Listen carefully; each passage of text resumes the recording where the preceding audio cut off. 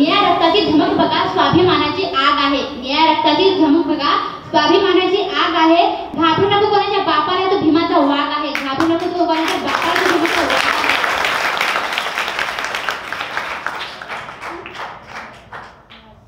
हे मानवा हे मानवा तू गुलाम नाही तू या वास्तव्य जगाचा निर्माता आहे. अशा काही प्रेरणादायी ओळी वाचल्या की आजही मन कसे उत्सुक होते? तळागाळातील प्रत्येक व्यक्तीला आपल्या शब्दाने प्रेरित करणार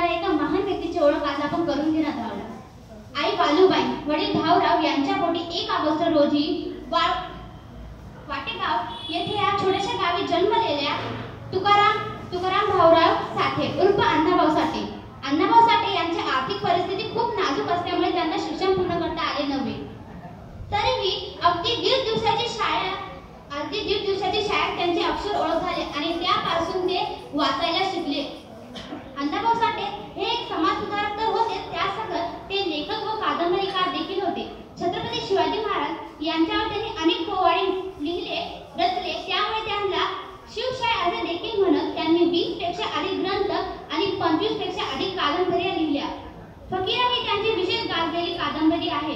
छत्रपती शिवाजी महाराज यांच्या जीवनावर त्यांनी चरित्र लेखन केले. पुढे जाऊन त्याचे रशियन भाषेत रूपांतर केले.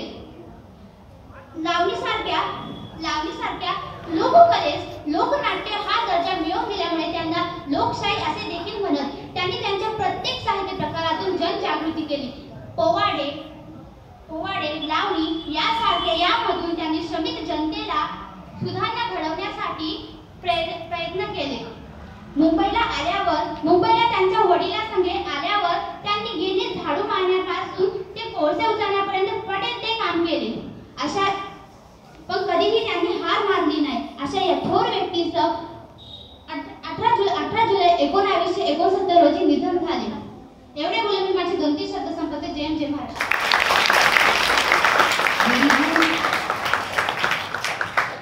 यानंतर येत आहे. इयत्ता दहावी बस